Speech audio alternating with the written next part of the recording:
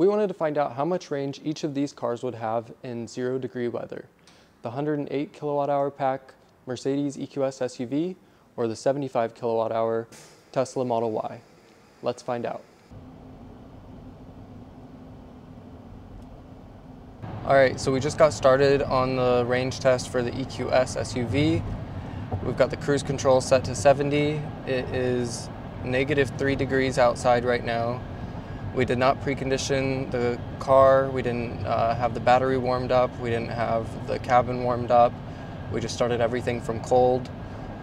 And we're gonna drive about 10 miles on our same, same efficiency loop and see what kind of efficiency we get.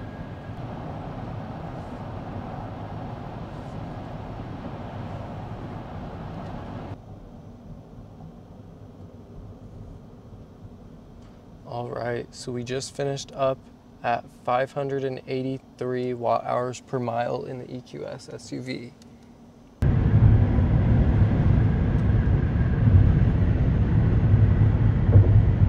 All right, so we are cruising in the Model Y at 71 miles per hour.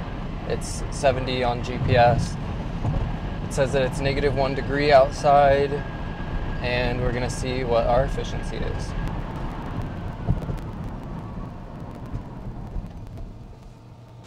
All right, so we just finished up the efficiency loop in the Model Y and we got 467 watt hours per mile. So these numbers work out to 161 miles for the Model Y and 185 miles for the EQS SUV.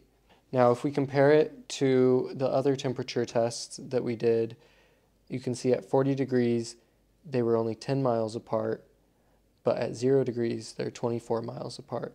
I really thought that the Model Y would end up doing better than the EQS the colder that it got but that didn't happen. The EQS surprised me, and I was really impressed by it.